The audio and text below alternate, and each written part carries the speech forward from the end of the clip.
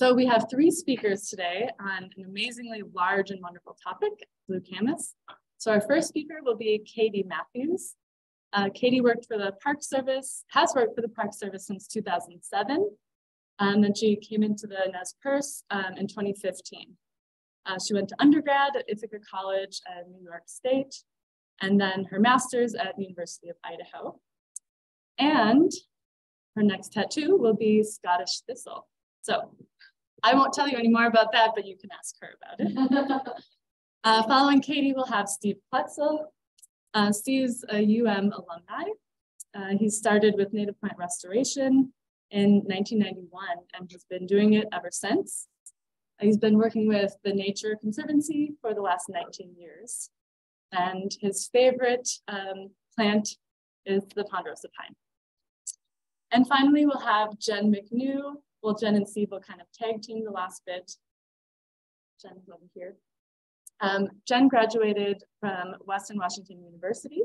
She's worked with BLM since 2013 and loves the spotted saxifrage, among many other plants. So with that, um, will um, anybody on Zoom, please let me know if you are having trouble hearing. Um, otherwise, we will take it away.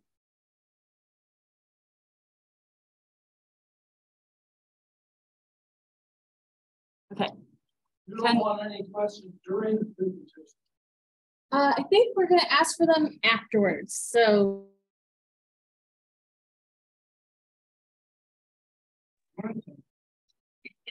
That's, that's fair.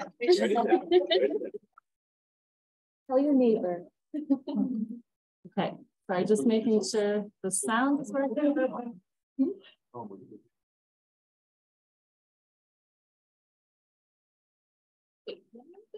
You can't add to my notes.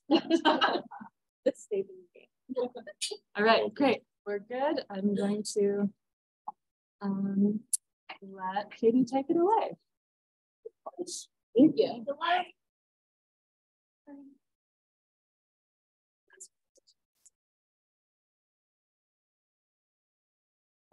Is that good? Darker? Oh, I'm getting mixed messages. okay. That's right.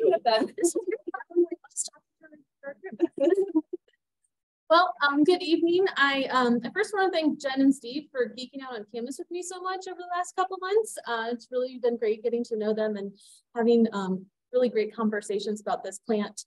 Uh, I also want to thank the Nature Conservancy, University of Montana, and the Montana Native Plant Society for inviting me. Um, so I'm really excited to be speaking to you about Camas and Camas restoration. Uh, as I was introduced, my name is Katie Matthews. I'm the Natural Resource Specialist for Nez Perce National Historical Park, Big Hole National Battlefield, and Whitman Mission National Historic Site. Um, so tonight I am gonna take you west just a little bit for a little while. Don't worry, you'll come back to Montana, but we're gonna go talk about Idaho for just a little bit. Um, uh, we're gonna be talking about Weippe Prairie, which is one of the sites that Nez Perce National Historical Park is responsible for protecting.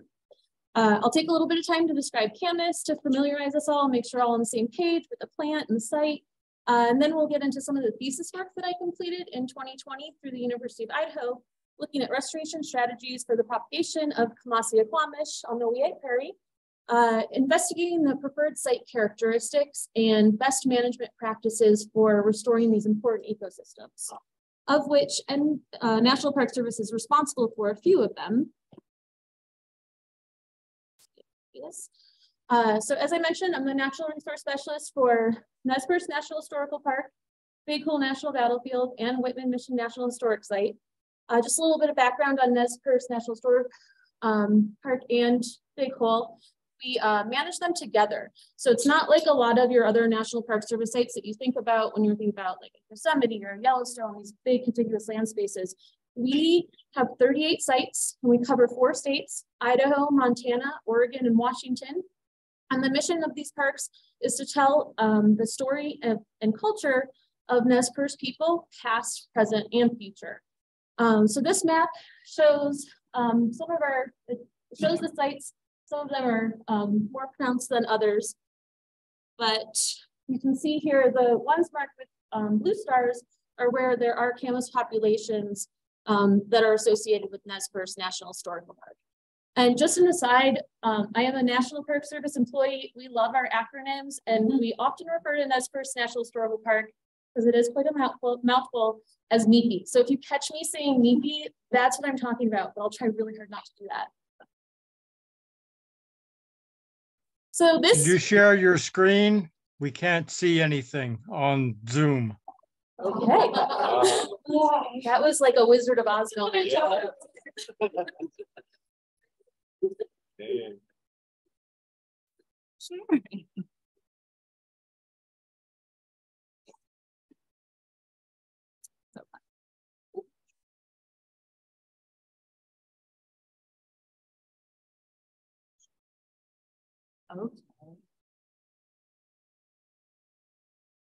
That should be that. And there's some, That was on this right, yep. Um, Thank you. Great. Yeah, thanks for letting us know to you out there in the world. Um, okay, so this, uh, these are some pictures from Big Hole National Battlefield during the Camas Plume. As you can see, we've got quite a nice little population there in the encampment area. Those are uh, poles in the back. Um, Big Hole uh, was just this really fast. Um, so Camas is a, it's a contributing factor as to why the Nez Perce um, spent time in the area. Uh, I am lucky enough to get to spend a lot of spring and summer. Um, oh, sorry, I didn't realize I did that. That's, okay. where does You it can go? just close it. Oh, this is beyond me right now. um, okay. So um, I do get to go to the Big Hole site fairly often, monitoring camas, Lemhi penstemon, and also doing some invasive species work. So get to spend um, my time in Montana, thank goodness. Uh, and I, so I hope some of you are familiar with Big Hole. It's actually not that far away, um, but if you're not, I really recommend checking it out. Um, we also have Camas at the heart of the monster site, which is the site of Nez Perce creation story. And then Weippe Prairie, which is an important traditional harvest site, which we'll get into a little bit later. There are other sites that are part of the Nez Perce National Historical Park, um, and we're they're co-managed with other land management agencies with varying degrees of management involvement. So two of those are Musselshell Meadow and Packer Meadows. Um, Musselshell is located near Weippe Prairie, where I'm taking you this evening. Uh, and then Packer is up near Lolo Pass. Um, these are primarily managed by the Forest Service, but they are also Nez National Historical Site. So um, there are five species in the Camassia genus. Four of them are located in the west, Camassia quamash, Camassia leichtlinii, Camassia cusickii, and Camassia howellii. Um, we're going to focus primarily on Camassia quamash, and there are six subspecies um, that are in our area based on the most recent Hitchcock and Cronquist edition. Um, quamash, brevifolia, maxima, intermedia, or sorry, intermediate, utahensis, and azurea. Uh, Camassia quamash is the major vegetative component of the Camas, plant, Camas Prairie plant community in the inland Northwest. And it grows in these large uh, colonies. Um, these Camas, they're, uh, they're Camas dominated wetlands and they're often referred to as Camas prairies. Uh, they range from Northern California up into Southern uh, British Columbia and over as far as Montana and Utah. Their distribution is the result of natural dispersal processes. It's, they're widely distributed amongst seasonal wet prairie habitats. And um, it's been around for about 70,000 years based on pollen data. Oh, and should mention, the first collection was made by Lewis and Clark in 1806 at Weippe Prairie. So that um, is the type site. So it's a long-lived perennial geophyte. So it has a bulb. Um, the leaves emerge in late winter. They have uh, blue, white, or deep violet um, flowers that range from about four to 35 flowers per raceme. Um, some defining characteristics are that they are bilaterally to occasionally nearly radically symmetric basically common camas, which is also known as blue camas, which is also known as Camassia quamash, um, they're slightly asymmetric. And that's a little bit different than great camas, which is Camassia leichtlinii. Those tend to be larger and their petals are more evenly spaced. But um, with the Camassia quamash, that lower sepal is declined from the others. And so it's a good characteristic.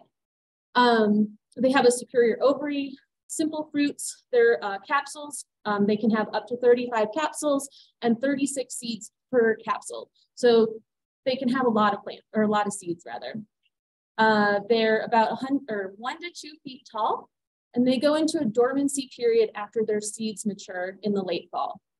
As I mentioned, they live, they tend to uh, exist in large colonies that we refer to as camas prairies. They are uh, foraged by deer, elk, moose, and gophers. And gophers will often stash the camas, um, contributing to bulb dispersal.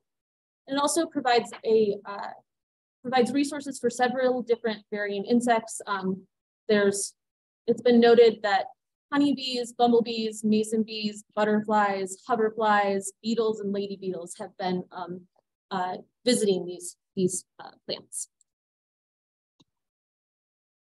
They reproduce primarily by seed uh, and less often by offset bulblets. The bulbs are multi-generational, so the older outer scales of the bulb are known as the mother bulb, and they provide energy, nutrients, and uh, moisture for the daughter bulb, which is enclosed in, in um, and developing within that mother bulb. The mother bulb eventually senesces, and then it's replaced by that daughter bulb, and that just continues that cycle. Uh, it has contractile roots, and those help pull the bulb down to where it prefers to be in that soil profile, that can be anywhere from about 10 to uh, 20 centimeters, depending on the, um, the soil conditions. Uh, the bulb is made up of um, 52 to 49% inulin. Inulin is a complex carbohydrate, really hard to digest. So not recommended to eat camas just a meat like out of the ground. Highly don't recommend doing that. um, you will spend the lo a long time in the bathroom if you do that. So don't do it. um, they, uh, the seeds need to go through a cold stratification process in order to break dormancy. Um, and they can take about four, three to five years to flower, depending on the conditions in the environment. Um, research shows that the seed and bulb establishment can be negatively affected by lacking proper hydrology, increased soil compaction, presence of invasive species, as well as thick sod and litter layers. So camas is a facultative wetland species. It grows, like I said, in large uh, colonies called camas prairies. And a productive camas prairie, um, it's been determined it's at least about 300 plants per square meter, but um, it's likely can have much more. They prefer seasonal wetlands that are saturated during the growing season and dry in the summer. They um, prefer extensive moisture with unrestrained drainage. However, too moist, they can have negative effects on the flowering, seed dispersal, and the bulbs could rot. But if it's too hot or dry, that also doesn't promote camas growth. Soils tend to be derived from basalt parent material, and they have high silt and soil, or sorry, high silt and clay contents with a loamy texture. The pH tends to be acidic to slightly basic, and it's been um, researched that the more basic the soil, you're more inclined to have a bluer camas. And if it has more acidic soils, then it will um, tend to be more of that purple color. Uh, in winter, the soils are soft and wet, and in the summer, they're dry and hard. And it um, seems to like disturbance, such as digging, which can aerate the soil, reducing competition. However, too much disturbance by things like overgrazing or repetitive mowing that can lead to soil compaction, which can have negative effects on camas populations. So not all disturbance is good disturbance. So we're heading west now. So we're all going to Idaho, Weippe Prairie. It's located in north central Idaho. Uh, the entire wetland space is about 450 square kilometers, but the park site itself is 110 hectares. It's surrounded by agriculture that's primarily um, cattle, uh, cattle operations, and it is bisected by a creek, which is getting deeper by the day. Um, the park site itself is about 917 to 922 meters in elevation. Um, but for the most part, there's not a lot of uh, gradient between uh, where the camas is. I think most of that drop is actually the incising of some of that creek bed. Uh, annual precipitation is pretty good, you get a good amount of uh, precip, and it gets um, to be fairly cold to fairly warm. I think the extremes can be really, um, really extreme out there, but the average temperature is about 25 to 63 degrees Fahrenheit. So Weippe Prairie, it is a National Park Service site, and it is so because it's where natural and cultural significance meets. So it's an important gathering place for Nez Perce people. Um, the camas bulbs from Nez Perce, they're known to have larger sized, superior taste, and greater quantities, and it's thought that Weippe Prairie helped contribute to that. Um, it's also the site of first contact between Nez Perce and the Corps of Discovery in 1805. And it was a productive um, productive site with high camas densities, and it still has a lot of density, high density today. So this sacred plant, it's been noted as the most important root food for many indigenous groups across Northwestern United States and Southwestern Canada. The stable and ubiquitous nature of camas allowed for this plant to be gathered, processed, and stored in large quantities, making it an important winter food for Nez Perce and other indigenous people across the region. It has really good nutritional content and cooked camas is high in protein, having more than beef liver, beans, or potatoes. Uh, across its range, it's harvested um, at different times, usually late spring, but Nez Perce typically was late summer and early fall. Uh, it's dark, but it did bring uh, two gifts, which is, I don't know if you guys can see that out here, but um, it is a digging stick that is used uh, by um, people to harvest camas. You put it into the ground. Oh, there we go, light. Um, put it into the ground. You pry up the soil. The soil then flips over and there's camas bulbs located underneath that top layer of soil. Once you have unearthed that, those camas bulbs, then you would use your basket to collect those camas bulbs. This one is a smaller version. It tends to go on your hip belt, so then you can easily um, collect when you're um, when you're moving around. When this would get filled up, there's larger bags that would get um, get used to to fill up as you're going throughout the throughout the process. I don't know if you guys got to see that. um, so uh, after the bulbs were harvested, they uh, were generally prepared, prepared for consumption um, and long-term storage through cooking in earthen ovens or camas pits. And this process often lasted multiple days uh, where bulbs were put in a large pit with rocks and vegetation. A fire was lit on top of that with um, that required constant tending and it utilized steam to help break down that inulin that I was talking about and that turns it into an easily digestible fructose. So it gets this really sweet flavor. And then depending on which vegetation you're using, that can help um, flavor that camas as well. Um, roasted camas can be dried, stored, or crushed into other foodstuffs. So you can eat it just as is, or it could be created for use for porridge or breads or cakes. And then the um, just the process of it in general, it helps encourage social interactions through communal gatherings, so uh, fostering trade. It provided food for travel because it traveled really well. It, uh, lasted really long. Um, and it was an important component of feasts and celebrations. It was also used to flavor other foods uh, like meats, and um, it was it's often used as a treat or a special food. It's sometimes considered like candy.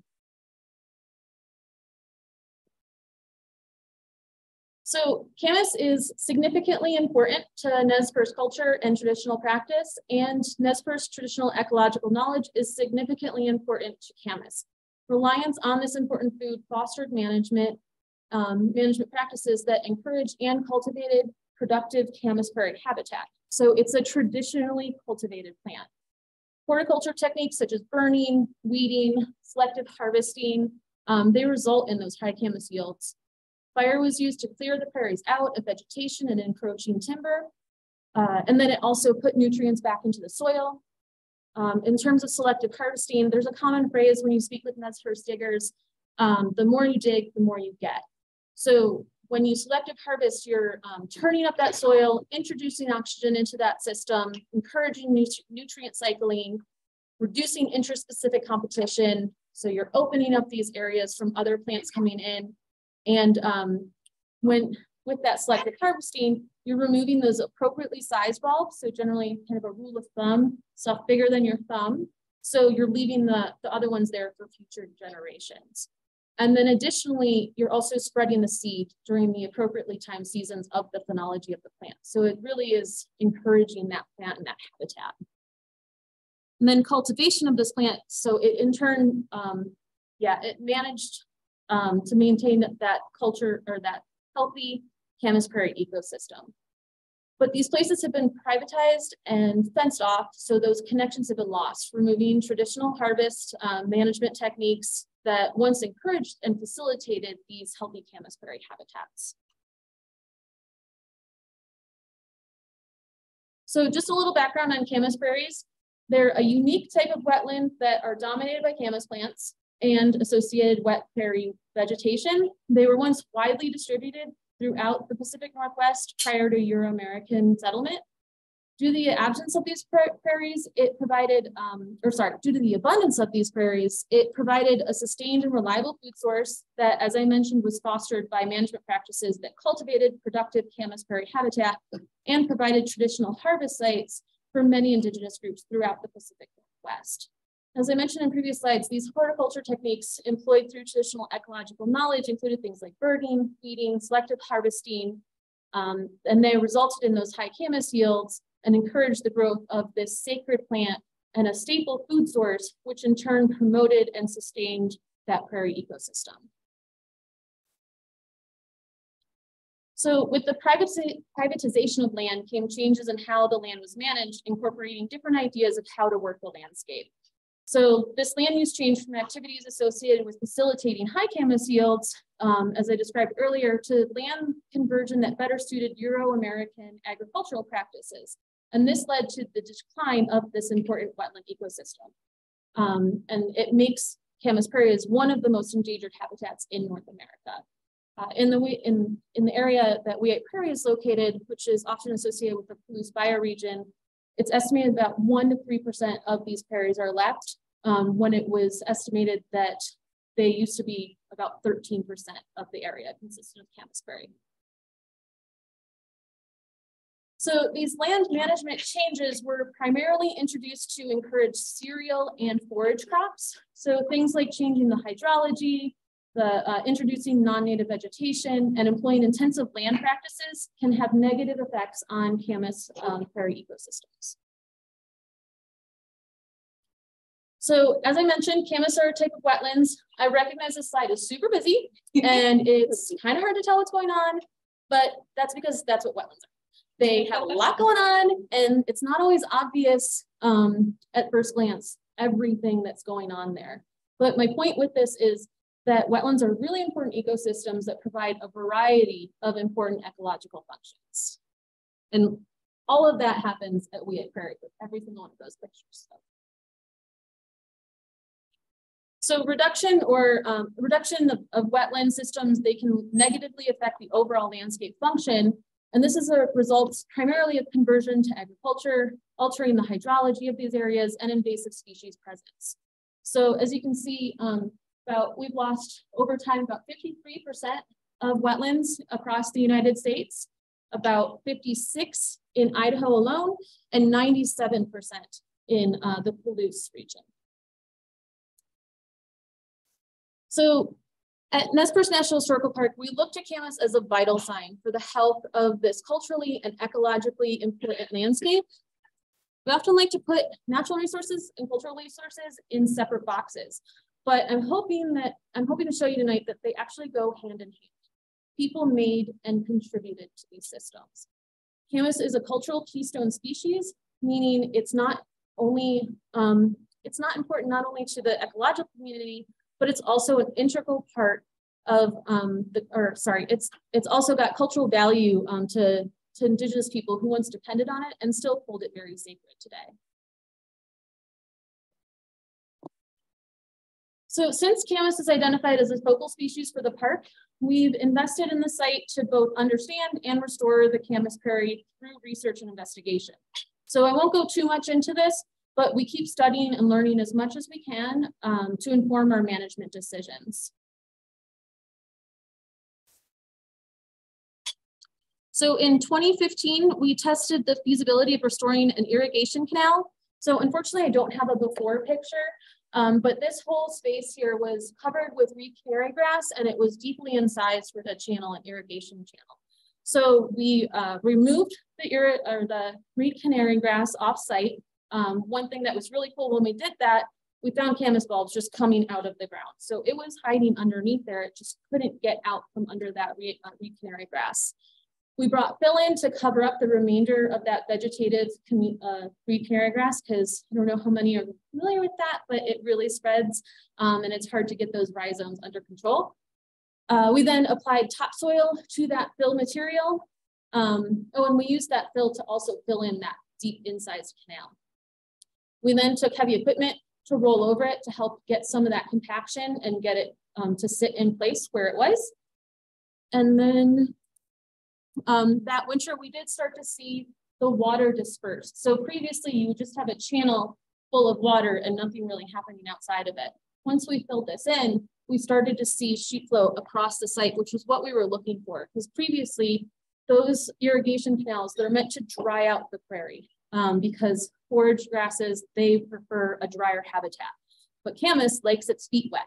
So we wanted to bring back the water. Um, and so we did observe camas in the restoration area in the spring. And you can see it started to kind of encroach in there and we were seeing it even further in than we had expected to. We um, planted plugs of native sedges uh, also in 2016 to help fill in that area and help with that comp uh, competition for um, non-native species coming in. So we use native sedges that we collected the seed from the area, had someone grow them offsite and then brought them back and planted those plugs. Uh, and then we also implemented photo monitoring so we can keep up with what's going on there. But so here's some of our, you can see our, our plugs on the edges there. Um, and the camera is just kind of starting to pop out, um, which was really exciting to see. So Weippe Prairie, it's an ideal study site because it has a familiar land use history that we see across the Pacific Northwest. Uh, traditionally, it's an important gathering place for camas, as I've already talked about. And then in the late 1800s, it was converted to, um, or from productive camas prairie habitat to agricultural land. And this was a, accomplished primarily by altering the hydrology, uh, introducing European pa pasture grasses, um, and this was a common practice that you see across the Pacific Northwest. So it's applicable across the Pacific Northwest. Uh, Weippe Prairie has a long history of about 100 plus years of agriculture use. And so it's, um, they altered the, that altered the vegetation and hydrology. But what makes Weippe Prairie different than a lot of other spaces is it's, it's designated as a cultural keystone place because as I pointed out earlier, natural and cultural resources are not two different things. So uh, Weippe Prairie exemplifies that connection. Um, it's uh, an important gathering place for Nez Perce and other indigenous people. And it was also the site of first contact between Nez Perce people and the Lewis and Clark Corps of Discovery. And so because of these reasons, it was designated as a National Historical Landmark on the Register of National Historic Places in 1976. And then it was designated a National Park Service site in 1992. And what these designations do are they provide protection uh, protection from further development, and the ability to commit to restore these lands, which is an important component of creating, restoring, and maintaining these areas. Um, so one way that the park has done this is through research. So as you saw with my last few slides, um, but Weippe Prairie, it provides a valuable research area where we've done a number of studies conducted looking at vegetation, hydrology, soil, wildlife uses, um, and we're trying to determine the character of the site, and that allows researchers and managers to apply adaptive management principles. And that way we can, as we learn more about the site, we're managing it appropriately. So I'm not going to go too deep into this because I think I've demonstrated the importance of restoring these places to a functioning wet prairie ecosystem um, that can facilitate a return to these culturally significant landscapes by reestablishing that functionality and connection to that landscape. But essentially what we're doing here is cultural restoration. So um, it's a great species to use for restoration projects for a number of reasons listed here. It's culturally significant and it's ecologically significant because of its role and function in wetland ecosystems, but it's also important for restoring cultural significance and cultural ecosystem management. So the idea for this being, if you restore for camas, then uh, the, the species that are associated with that, um, with those camas prairies will follow. So in 2005, the park began to actively monitor the camas populations within the park site. So we connect with local school groups. We go into the classroom, we teach them about camas, about the natural and cultural significance of camas, and then we take them out into the field and they get to do hands-on monitoring with us at Weippe Prairie. We've been doing this for about 17 years now. Um, we have noticed a, a, slight increase in camas density across the site, particularly uh, in 2009 to 2007 but then it started to decrease and decline again. So we have some new questions. Um, essentially what we were, had done was we removed grazing from the site and have been doing more or less passive management. Uh, so that initial removal of grazing seems to have increased the, the densities, but um, now there seems to be a decline happening. So one question that kept coming up and drove a lot of the research that I did was, um, why does camas grow so well in some areas and so poorly in others when these areas are literally within meters apart from each other? So we decided to focus on areas of low and high camas density to pull apart those differences and habitat preferences for camas, with the goal being that we can restore the site to allow for those preferred site conditions that we identify. So um, in the middle, we have the National Park Service site. The red circle there is the project area.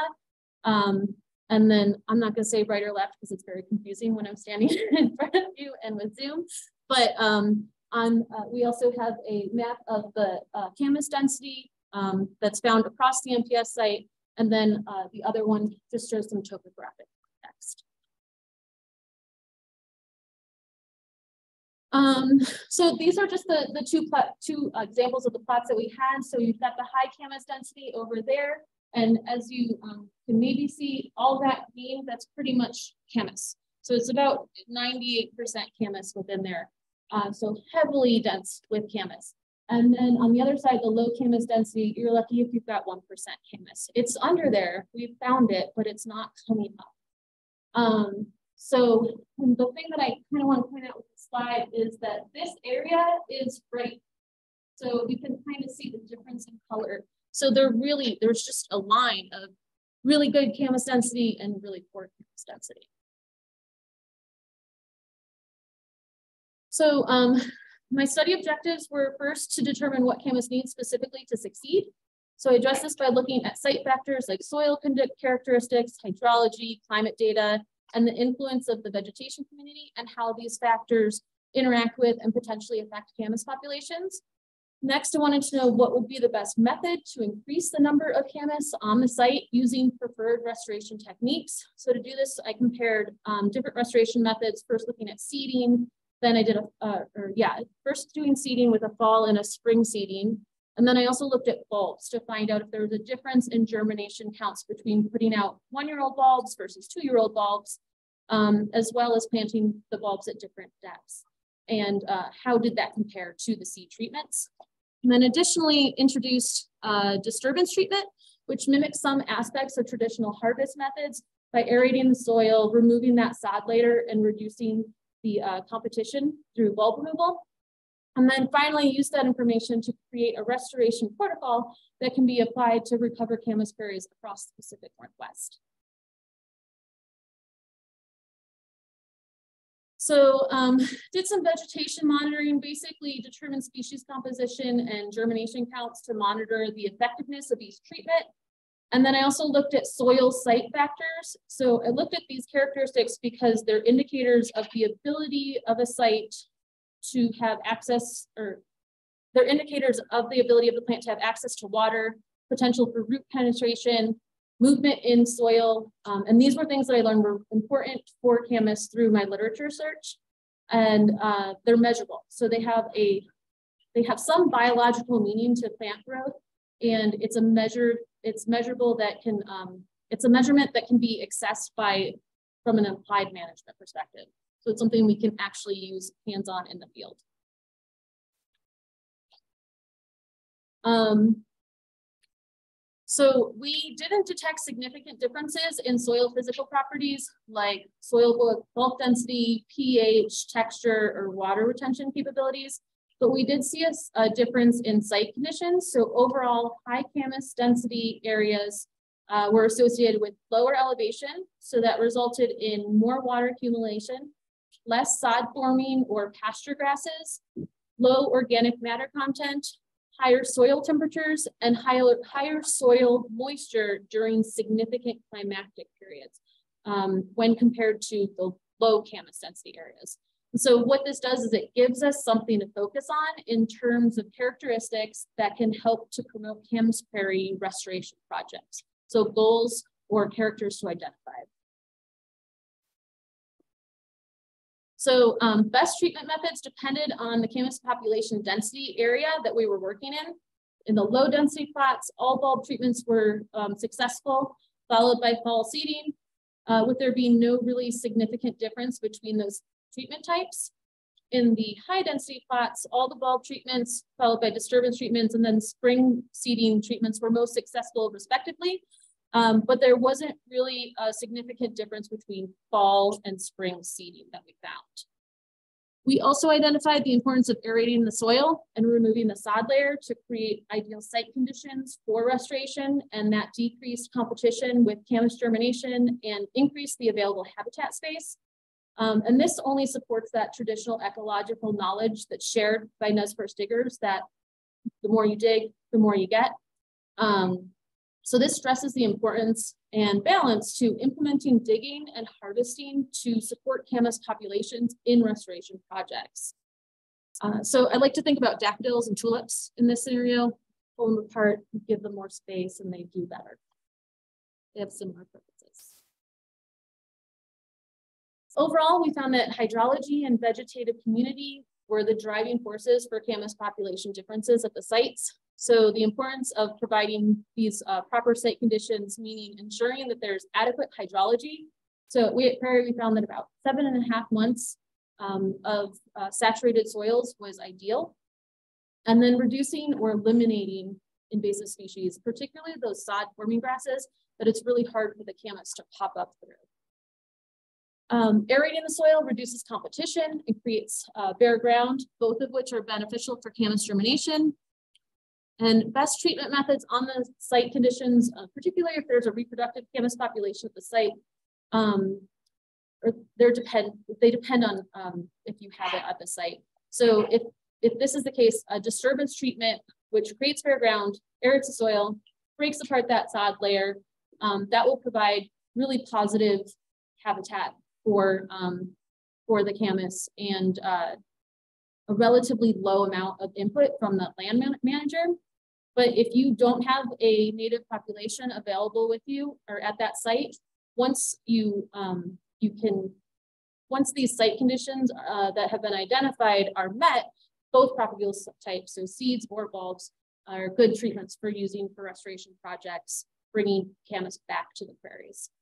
That being said, fall seeding treatments require significantly less resources compared to the methods needing spring, um, or sorry, needing to produce uh, bulbs. So it's recommended over, um, so seeding, fall seeding is recommended over outplanting in projects where project resources are limited or where you have a little bit more time to, uh, to wait till you get uh, a mature camas plant and um, reproductive. Disturbance alone will not be effective unless a propagule source is added to the soil. I feel like that makes a lot of sense, but it's important that we have to say it. Um, additionally, spring seeding, it wasn't really significantly different uh, than fall seeding, and so it's not the best option. It, um, it requires a cold stratification process. It also can lead to the seeds being on the ground longer, so you have potential predation issues. So it's better to do it in the fall. Uh, through the study, we found no evidence to support that germination was affected by bulb death in the first year. So we wanted to see if smaller, younger bulbs could be put deeper in the soil and still germinate, um, which they were. Uh, it's um, from this we can conclude that the bulbs require little outplant, little uh, sorry, little effort for outplanting methods. However, planting bulbs deeper might simulate some of that selective harvesting that happens um, when you're when you're mixing up the soil. And some of the literature thinks or recommends that that might lead to maturity faster because you're helping that bulb reach its uh, preferred depth. And um, so it's just giving it a little bit of a push. So we need to continue tracking germination counts and monitoring mature, maturation timing between the flower development and each camas population. Um, that would benefit the protocol and inform reproductive timetables because those are still a little bit iffy right now. Um, and then working with some of our partners, concerns over invasive species treatment methods um, and needs are growing. So we're looking into ways to assess best management practices regarding integrated pest management in camas prairies and potential effects on access and edibility of harvesting camas that has been treated with uh, herbicides. We've also met with the Clearwater Soil Water Conservation District, who's working with the Clearwater Highway District to redesign culverts. They want to get the water off the roads, so we want to take their water and put it on the wetland. So it's an opportunity for a win-win where we can help them and they can help us. And then finally, we continue doing our citizen science project work that we've been doing for the past 17 years, working with local youth on hands-on camas monitoring. So other stuff that's going on in the greater Camas community, um, went to the Cascadia Prairie Oak Partnership Conference this past fall and got to hear about some cattle ranchers that are really interested in finding ways to, um, to both uh, work agricultural production and Camas Prairie needs into their grazing protocols. So like putting cattle at specific rates on these Camas prairies um, where they are already, but maybe thinking more about timing. When do you remove the cattle off of that property so that allows for the camas to still grow, not be eaten by the cattle, do its thing, senesce, seed, and then um, bring the cattle back when, when the camas would be less impacted. So as I mentioned, we have lost a lot of these camas prairies to agriculture and these, these agricultural operations are still around and still will be. So if there's a way that we can find common ground, um, then that would be a really exciting protocol that we could start working with. So, um, and then something else that they were talking about is seed and feed. So feeding the cattle things that would encompass or encapsulate camas seed that could work its way through the cow system and then be distributed so it actually is a seed dispersal method. So this is stuff that's going on right now. People are interested in and people are looking at. This isn't stuff that I'm doing, but it's stuff that's happening. Um, and then additionally, we, we do have a large group of camas enthusiasts ranging from dig diggers to landowners, uh, government agencies, non-government agencies, individuals, private sector people. Um, we're all coming together to share and learn more about camas. Uh, it's, it's kind of, it's been around for a really long time, but sometimes finding this information can be really difficult to, to lead to these restoration projects. So um, we're trying to create a network of camas practitioners and enthusiasts to, to share some of this knowledge and help move forward some of this camas restoration work. Um, I'll just quickly read their mission statement. Um, they participate in information exchange and respectful dialogue with Indigenous people about the intellectual knowledge and cultural traditions concerning camas. This includes advocacy for eco-cultural restoration, preservation, and Indigenous peoples' access to and co-management of camas and places where it grows. And we've already seen this uh, group in action. They petitioned the Army Corps of Engineers about an upcoming project um, that is potentially going to displace a camas prairie in Oregon. So it's really exciting to see the group come together and start to take some action and move forward. So if anybody is interested in joining that, or hear more about it, the listserv is currently under development. Feel free to contact me and I can uh, connect you with that group. And then hearing about projects like what Steve and Jen are going to talk about um, and what they're working on and sharing, uh, continuing this work as we learn and take on more restoration projects to restore Camas prairies can help build that network of Camas practitioners and scholarship that will help us understand and have better, um, do better at restoring these, these really important ecosystems. So I hope that this information um, will help benefit Camas restoration and primarily give some ideas about site preparation and site characteristics to look for when doing Camas restoration. Um, but also, I want to help grow that Camas community that's invested in Camas restoration because it is so crucial. So I do want to thank some people, um, all the people who helped me with all of my field work. And then uh, I want to just acknowledge the many people that came before me and shared uh, this knowledge of this special plant with me and with all of us. So I am going to ask you guys to hold your questions, much like this pygmy owl is holding this junco hostage. Um, I know it's difficult, but Jen and Steve have a lot to say, and we're gonna hear from them now for questions. Hey,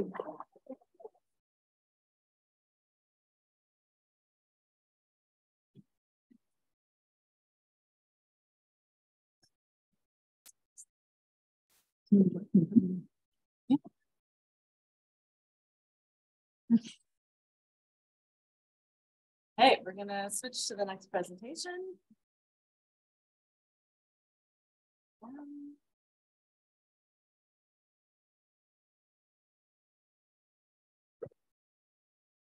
and I'm going to share this.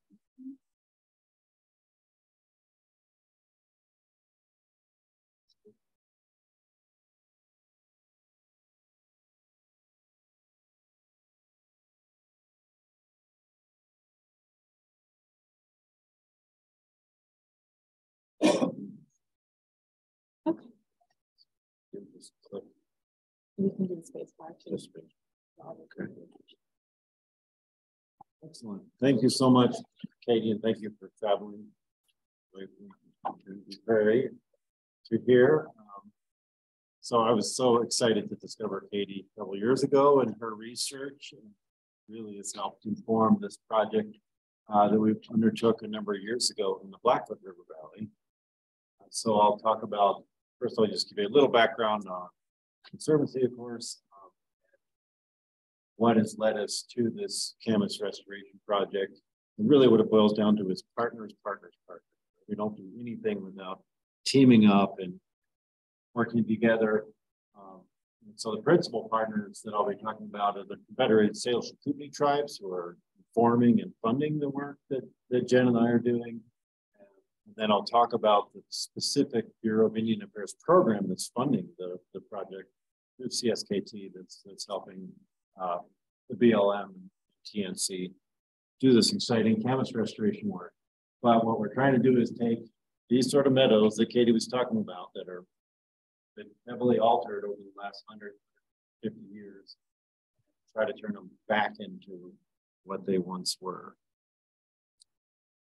So, so just very briefly on uh, Nature Conservancy, that's I work for. I'm the Western Montana land steward for the last 19 years. Uh, so I'm working on the west side of the crown of the continent.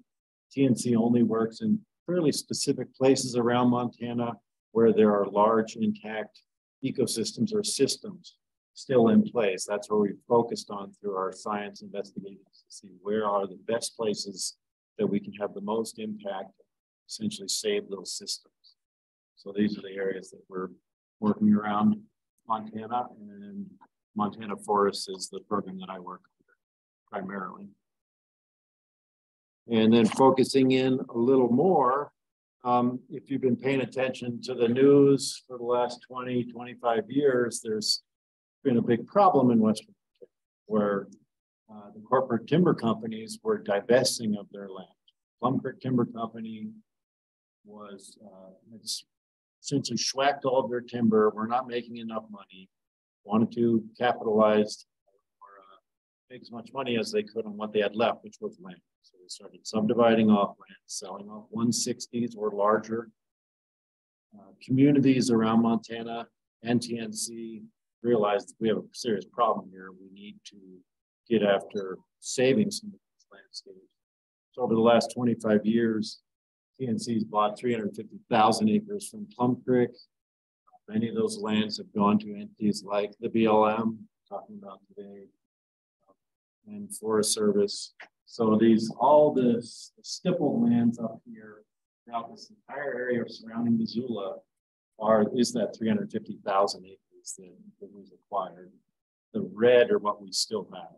You can see we've created new wildlife management areas, new state forests, new state parks, blocked up national forest lands, blocked up some BLM lands and created whole new like BLM ownerships. And it's enabled us to really start to tackle some really big restorations issues on the landscape, like forest restoration, in this case, some camas restoration. When you don't have that fractured management, that checkerboard of lands that are owned, every other section is owned by a corporate timber beast. It makes it really hard to do broad scale restoration, especially when you're at subdivision in those lands. So we're going to focus in on that red circle area. Another thing I would just say about this slide is um, we didn't realize this at first, the Conservancy, when we started slowly moving these lands that we had acquired into federal ownership until a tribal uh, member who's a Forest Service fishery biologist, Shane Henderson, told me one day, he said, you know, we've really done the CSKT, the Federated Salish and Kootenai Tribes, a huge favor because that quarter of a million acres that have gone over to the feds now have fully restored our treaty rights. That, again, is another thing that led us to this project, having those treaty rights restored back to the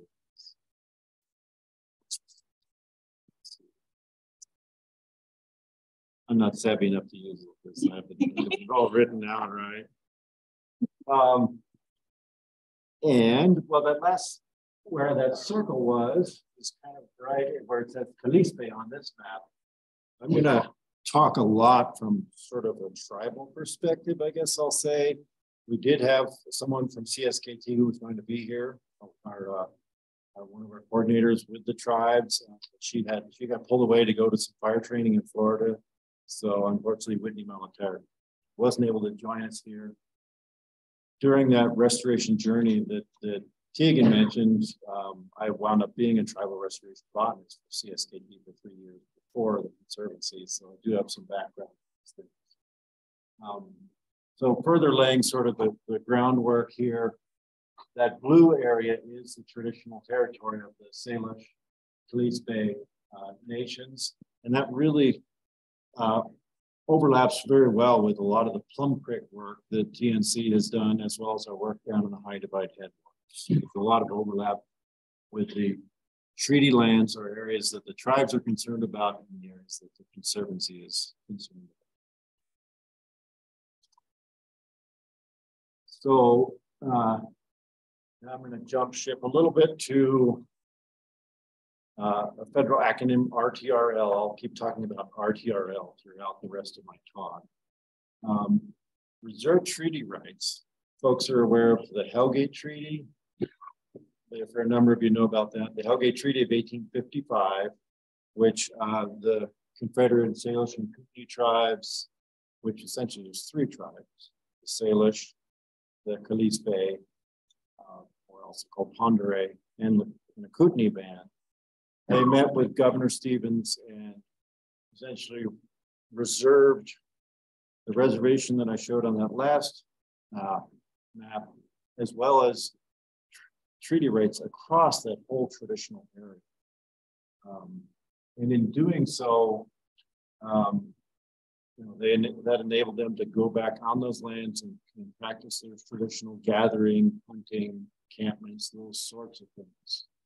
As I mentioned, when those lands are turned back over to the feds, that fully restores those treaty rights. The Nature Conservancy, we also honor treaty rights on our ownership across North America. private lands, treaty rights are not necessarily uh, exercised or tribes can't exercise their treaty rights on those lands, but the Conservancy chooses to honor the treaty rights. Anyway, the Reserve Treaty Right Lands Program is a really exciting program under the Bureau of Indian Affairs that lets tribes reconnect with those places off reservation and partner with, with folks to uh, manage those off reservation tribal resources and rights. So this red outline on this map shows the pink Nature Conservancy lands and the yellow BLM lands where we're doing this collaborative restoration work with the CSKT, Confederated Forest Tribes. I would just point out that yellow polygon in the middle of the red, when we started uh, 25 years ago, the BLM owned 40 acres. And through these Plum Creek uh, dispositions or transfers to the feds, now there's about 40,000 federal land.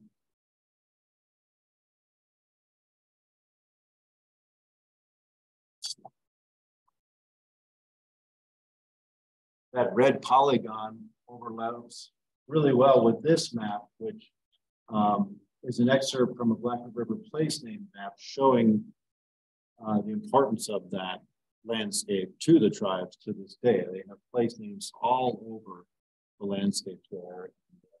Salish Bay Culture Committee, which is an Elders Advisory Council at the tribes, they've uh, cataloged and collected, I think, something like 3,000 place names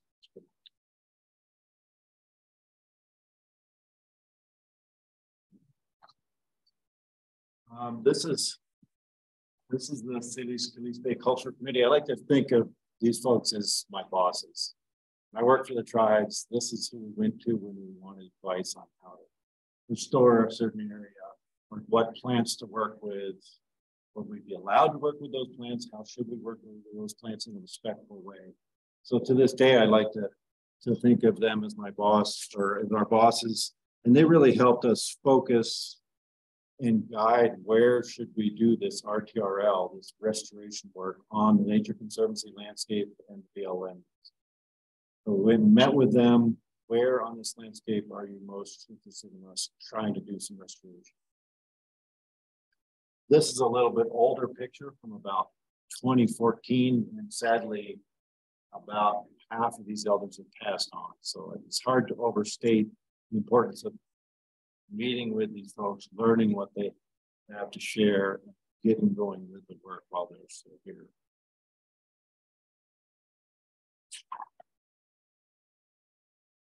So in developing our, uh, our work plans on what to do under that RTRL program, I should say that the RTRL program is primarily a forestry and fuels project or a fund from the Bureau of Indian Affairs, from the BIA. So really it's looking at how can we restore our forests in a good way. But again, through these field visits and consultation with the elders, that really led us to uh, this camas restoration work as being a very important element of what we were going to try to do with the tribes. So many site visits here were with our, our board of trustees and tribal partners, some U of M professors, BLM folks out on one of the prairies, and then lots and lots of forestry tours. The other thing I should say, I meant to say earlier is another big part of this RTRL program is to increase tribal employment, increase connections to the land that may have been severed over the you know last four or five generations, and uh, yeah, just really to reconnect and restore those landscapes and those and those tribal connections. So you're probably wondering what what do they look like on the ground? It's a little bit like some of the pictures that Katie had where you can see there we got dandelion, not native. Lots of non-native tame pasture grass in there, and then a scattering of remnant camas. So uh, in, in, developing our project here, we went out and the ideal bloom time and mapped out where did we still have remnant camas, which also tends to indicate where do you have the, the all the other conditions like the proper hydrology, um, this is up in Gold Creek. So if you've been up there before, you can see in the distance there are some large pines. That's Trim Meadow. If you've ever been up in Gold Creek, I highly recommend visiting Prim Meadow. Um, so these the uh, populations obviously have been reduced through many of the disturbance factors that Katie talked about. So there is a history of grazing in places like Gold Creek, uh, the tame pasture grass that was seeded in or is naturalized. Um, plenty of weeds, of course, probably some historic use of herbicides at perhaps pretty high rates. Um, disturbance from the logging, you'll find skidder trails right across the middle of some of these camas prairies. Um, forest encroachment, crowding out the camas. Those were sort of the main factors that we found up there uh, or, or on these former prairies. So here's an example, Lost, uh, Lost Horse Creek Meadows, which is a tributary to the Clearwater River. Those poor camas plants are trying to survive in a sea of hound's tongue right there. Um, and then this the upper Gold Creek, where you see the lodgepole pines are starting to encroach upon the meadow, largely because of lack of fire in the system.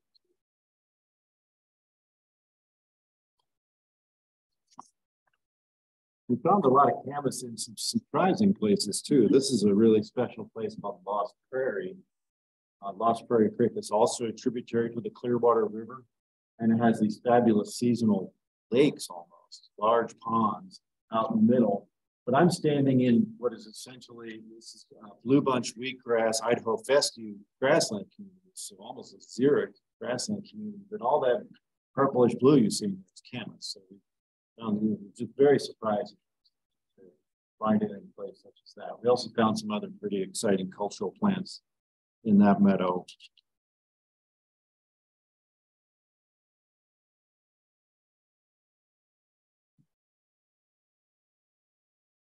So again, through the, the consultations with the tribes and I should mention the tribes have a wonderful native plant nursery that's been in place for over 20 years now. Um, and so they had some pretty good chops on how to propagate native plants, conifers as well as native plants. Um, so our go-to thing before we learned about Katie's research was let's just let's just grow a lot of plants, put some plants back out in the landscape. Um, Conservancy's done a lot of work again through the Plum Creek land acquisitions in and around the Potomac Valley. And so I was aware of this one remnant nice camas patch on the edge of the of the Potomac Valley. And so that wound up being our seed collection site for uh, to date for the conservancy work. Talking about Potomac, I wanted to read a little excerpt from a book that the uh, Séliš-Qlispé Cultural Committee put out about the Salish people and the Lewis and Clark expedition. This is the tribe's response essentially to all the hubbub around Lewis and Clark, which they were quite confused about because Lewis and Clark were in Western Montana for what, a week or something? And of course, they've been here forever. So this is the, a wonderful publication that you can find on like ABE books and whatnot, or buy from the Culture Committee. But this is what it has to say about um, what is now Potomac Valley. Folks know where Potomac is, just up the Blackfoot River a little ways. Kalsa or Epuitwe. Kalsa is an old word for camas. Epuitwe means it has cooked camas, a place of cooked camas. Kalsa or Epuitwe was perhaps the most important camas digging ground in all of Western Montana. The broad open valley maintained by tribal people with the careful application of periodic fire was a great sea of camas, and many Western tribes would journey there to partake of the abundance. Salish, Upper and Lower Oreille, or Kalispel, Spokane, Coeur d'Alene, Nez Perce, Kootenai, and many others came to Kalsa or Epuitwe, often on their way to Buffalo in early summer. So that's, I didn't realize that until I read this, that that seen on some really old maps from the 1880s. Before there was the town of Potomac, it just says Camas Prairie across that vast area. And I've heard two other stories about the Potomac area that sort of signify its importance. One is that when the uh, first homesteaders came to the up into the Blackfoot, that some of them stood maybe it was more open then. They're up on Lubrick Hill and looked down and all they saw was blue because they came in June and they thought it was a lake and they turned around and went somewhere else. And so it, it was spared for a little longer, maybe a few years, maybe a few decades. And then I also had a, a tribal elder tell me once that because of that profusion of camas, you know, that's a long list of tribes there. Because of that profusion of camas, it was like a place of peace where there was enough food for everyone, so you could set your, your battles aside and just dig camas, dig and gather camas for your, your winter stores. Well, we can't restore Potomac, but these other little meadows that are on that are up Gold Creek and around these old Creek lands are places that we can restore. Bring those from there. So work on what you can, right? So again, this was our seed collection site. I've gone out there several years. The the uh, the rancher who still owns this, it was her grandmother's homestead place, and she's honored to have us out there collecting seed. So we brought the seed to the uh, Salish and Kootenai Tribal Nursery up in Ronan, and they are they propagated some plants for us. That's not camas, right? this is actually Bitterroot. that the BLM is also a contract grown by by the tribal nursery. So we're about 10, I guess I should say they're about 10 air miles from this site to uh, some of the camas. So not too far a seed transfer zone. People get, I know the Park Service gets really wrapped around seed transfer zones have to be very close together. Um, some of our camas meadows were had had a lot of impact because they had open roads right through them, and others like Lost Prairie were not so impacted. But this is an example of a site in East Twin Creek, which is immediately downstream of Gold Creek. Um, the top picture there, you can see that that's actually a homeless encampment, uh, which we deal with a lot of homeless camps, or used to, on the Conservancy lands. And to try to control some of the illegal camping and off-road mud bogging in the Camas Meadow, Plum Creek Timber Company had dug huge trenches and barricades on either side, which effectively drained the, you know, messed up the hydrology of this camas meadow. And this is an open Forest Service road right through the middle of it. Uh, there was, and out to the to the right here is all sorts of other campsites that had old roads leading to them, dumping, I mean, kind of you name it. The only thing we didn't have here was grazing, which is really nice, convenient. Um, so we knew we needed to correct the hydrology. We knocked the berms down, topsoiled them, uh, did a native seeding on those. RTRL helped pay for all of this work. Uh, put in the what we call a human exclusion fence, to, and then close the area actually to camping and entry. Put up signs all on there. Uh, and then the tribal crew is, and you can't see them, they're just off of the screen to the left, but they're out there thinning some of the forest encroachment. very careful weed spots. We don't want to kill any camas when we're out there. We don't have enough of it as it is. So we're trying to spray at the optimal time of year to not impact the native forbs and also spray in a manner that will not kill those forbs. So we're using the least toxic chemicals at the least toxic rates um, and the least toxic method, which is backpack spraying, spot spraying, or ATV spraying spots. So almost never broadcast, right? That would just be too destructive to what remnant forbs we have. So that this is uh, some of our contract crew and TNC staff spraying. That's actually somewhere that Peter is very familiar with. This is Dancing Prairie, not not up in Gold Creek, but I didn't have a good picture of our weed spraying crew up there. But um, and I should have a shout out to Native Solutions Restoration. If anybody knows Michael Pecora here in Missoula, actually lives in Bonner. He's been our go-to weed sprayer guy for 16, 17 years, contractor. You're going to hire a weed spray contractor, hire one that has native plants tattooed all over their arms. That's my recommendation because you know they're devoted there. No, not dissing your Scottish sister. You're Scottish, I understand.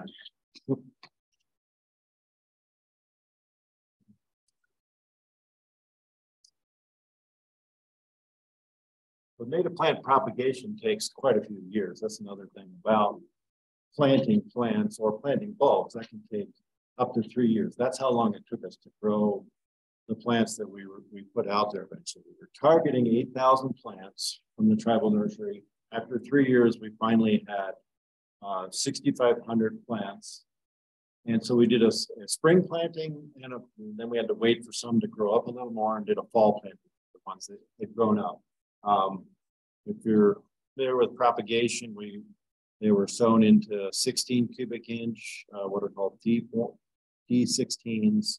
Um, so containerized tubelings. And, and we're planting them out with the hoedad here. This is one of, this is our commercial planting crew at Gold Creek, uh, planting one of the larger meadows there. Um, you can see the, the plants are nice and green here in the spring.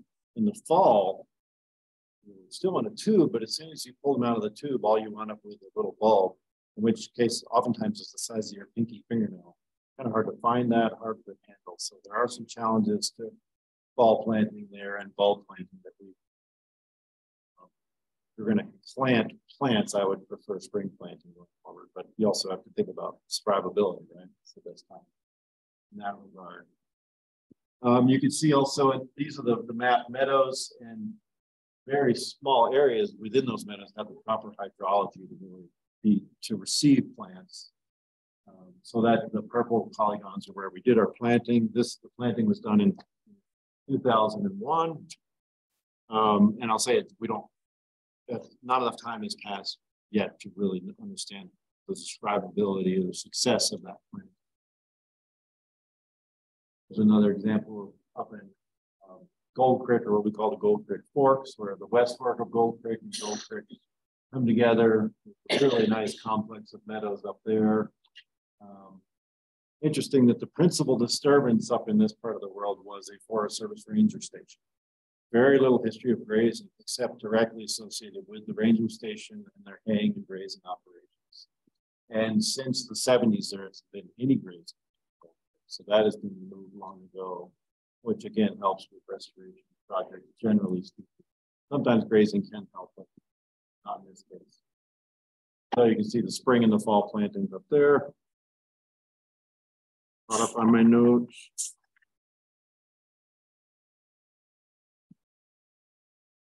I think Jen is up next. Oh. So, just like that. And just like that.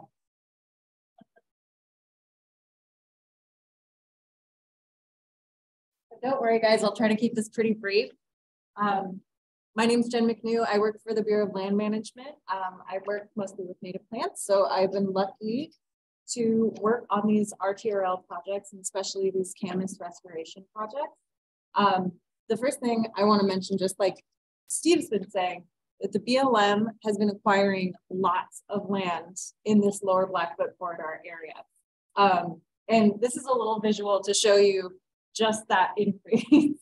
so you see right here, that's the 40 acres that the BLM managed in 2004. And now, 2023, we manage 44,000 acres uh, with the likelihood of increasing that acreage in the next years. Um, and just like Steve said, that's really important for this context because now that this land is coming into federal hands, it does mean that those reserve treaty rights are restored. And any member from the Confederated Salish Kootenai tribe who wants to exercise their rights to hunt and gather on this land legally has the right to, which I think is really important for us as land managers to think about. And it's also really cool that we are working with these with these partners um, in the RTRL program where we're actually getting the funding to work on restoration of things like Camas. So in the pink here is the sites that we've been focusing on in the BLM. And then the green you can see is where Steve and TNC have been focusing their efforts. This is Gold Creek. Uh, and two of the main spots that I'm going to talk about are Nine Mile Prairie and Belmont Creek. Um, if you guys know Nine Mile Prairie Road, as you're kind of getting over access to, especially this last year, access to the Blackfoot, um, that's kind of the main thorough to be on that part of Blackfoot. And so just like Steve was saying, um, the sites that we've been seeing, well, first I should mention, just like TNC did, we surveyed lots of land and we found about 250 acres of remnant prairie. And we decided to focus on about 40 acres along the Blackfoot. And just like with the TNC sites, we had lots of encroachment from predominantly pasture grasses, uh, as well as lots of weeds, noxious and not noxious, and encroaching conifers. So what have we done so far? Um, we have an office that has done a lot of things um, and we're moving, moving forward with camas restoration. So essentially, we've done a little of a lot of stuff, um, including we, uh, our fuel specialists, as well as other members of our team, um, started with our first meadow burn. We, we were able to burn about five acres of that meadow. And like Katie mentioned, burning is really, really incredibly critical for Camas. So we're obviously looking to do more of that in the future. Um, we also have been working in the last few years to cut the encroaching conifers. We make sure to do that in the wintertime so as not to affect any of the Camas population.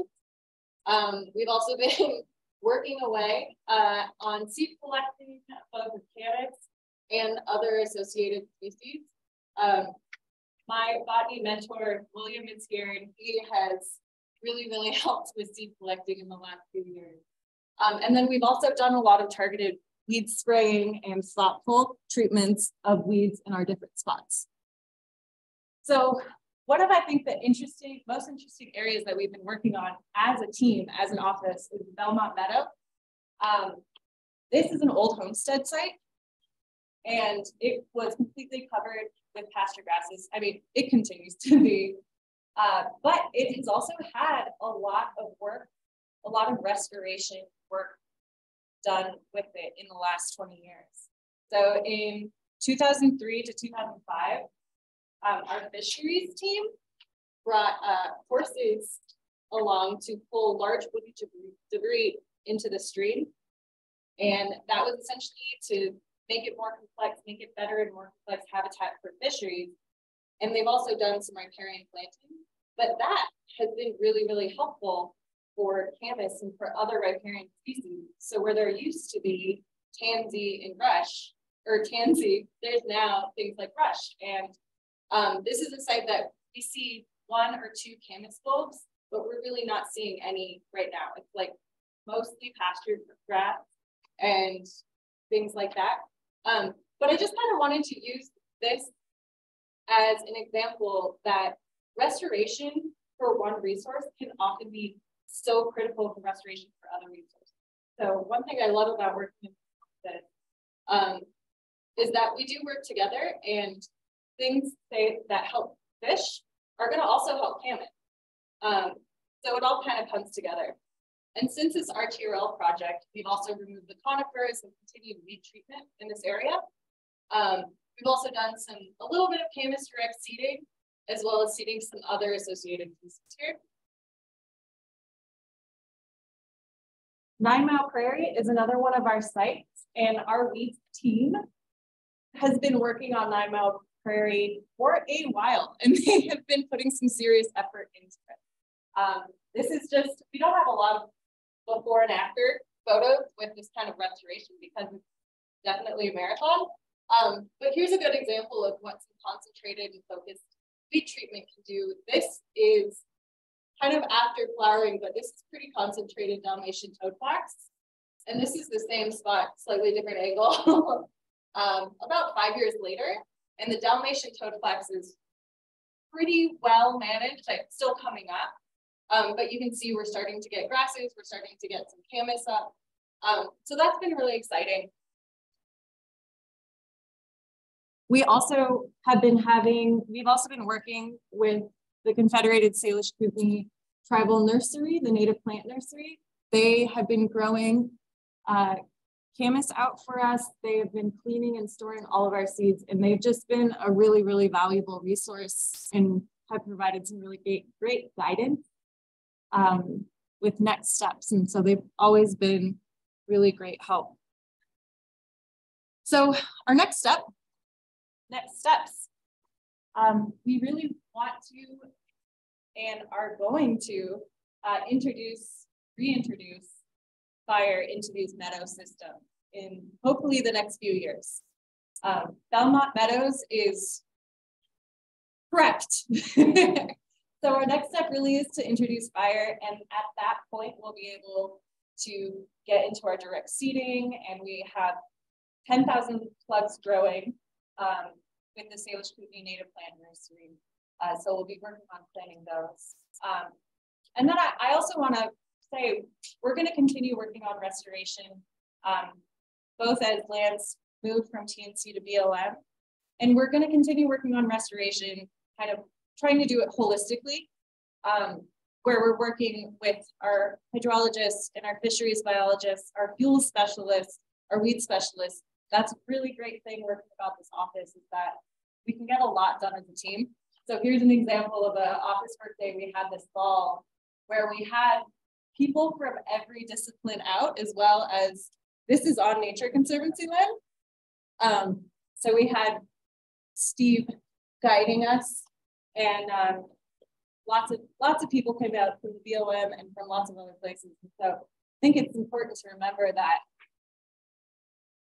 we it's a little daunting. All of this stuff takes so many steps, but it all helps the system. And we're, we're kind of all working on it together. So that's kind of the next steps on that. I should say that wasn't me guiding, that was BLM have a wonderful team of people. Yeah. So Claire. It was a multi-guided. Sarah Romenko is their hydrologist and Ernie McKenzie, who's their fisheries biologist, were actually, they went and took a class for a week on how to build beaver dam analogs. And then they came back and applied them for the first time on the conservancy land. So we were all out there and we had CSKT folks out helping us with that, and that it, day. and also I think it's um it's kind of interesting. Ernie, our fisheries biologist, was a technician uh, in the early 2000s when they started that restoration on Belmont Meadows. And now he's kind of heading up the fisheries program and they're trying to do the riparian, uh, they're trying to do a lot more with riparian restoration, which will be really exciting to see. You know, that, I don't know how to back this thing up, but that last picture was actually a very incised channel of Wild Horse Creek, little drainage to Gold Creek that we actually identified when we were out there mapping our Camas. We're like, oh my gosh, we have an incised channel here as a function. It was straightened by the Forest Service to create more hay meadow, and that was of course draining the Camas. So obviously, it's all it all goes together. trying to do landscape scale restoration. So next steps for the conservancy is pretty much the same as the BLM. We've been unsuccessful in getting fall burns done on on those grassland areas. Some complexities associated with that, but we also wanted to get the encroachment out first and get the weeds managed for a couple different seasons before we put fire on there. So we weren't exacerbating the weed situation. Um, this, the, the burning effort in the Blackfoot, it's actually, that's where really collaborative burning is, is hatching in, in Montana. We've got Prescribed Fire Working Group where essentially every agency, private landowners, NGOs like the Conservancy and the Blackfoot Challenge, tribes are coming over the hill. All of us are burning together on like an all hands flames approach. So when we're out there, we might have eight different entities represented on burn day. So that's a picture up there with some of that combined crew on a burn out in Nine Mile Prairie this last uh, this last year, and then also one of our forest burns earlier. So, um, but yeah, it's really a that burning is it's not that expensive to do the prescribed burning, but it's a big lift from the coordination side of things and smoke management side of things. Here in Missoula, you're getting versions. All of our smoke up in the Blackfoot may want to come down here and sit on you for a couple days, and we don't want to. Have to time it all very, very well. So a lot of hurdles with prescribed fire. That's a whole nother story. But um, prescribed fire is a really essential part of restoration. Um,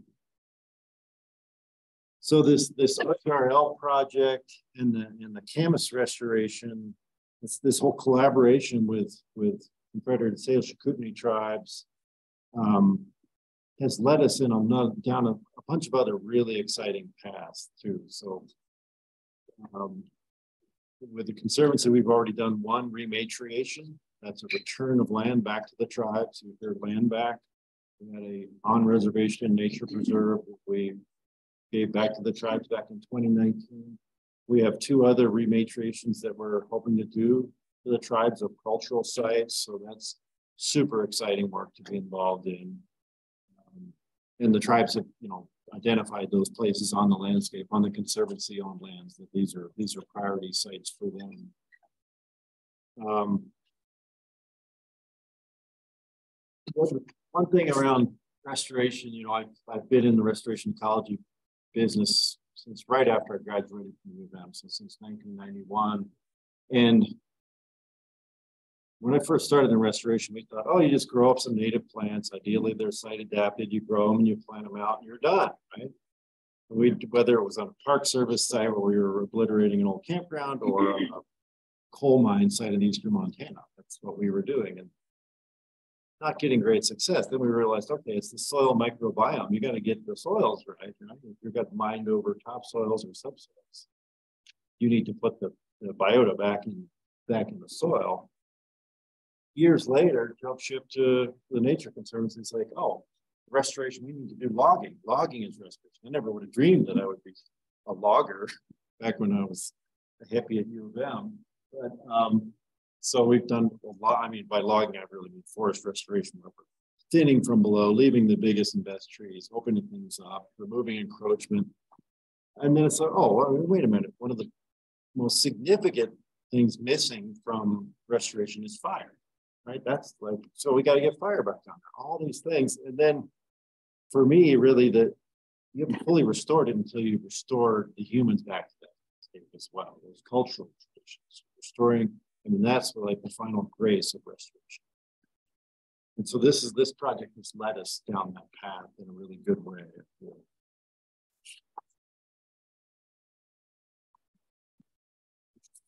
So a picture is worth like a thousand words, right? I love this picture. Uh, when I was a student at U of M in the in the late 80s and living on the Flathead Reservation, uh, Agnes Vanderburg, she was legendary to all of us, the circles I ran. Um, so she was this this Salish Yaya was she taught so many generations of her own people and anybody who would show up at her cultural encampment on Valley it was open to all. She just would teach those traditions year after year after year to anyone who showed up. Um, sadly, she passed away in 1989, but her spirit lives on those kids. And those kids are now adults. So I feel like we will be successful with this restoration. when those kids as kids and their kids can go back out to those camas meetings together that's the measure of success here.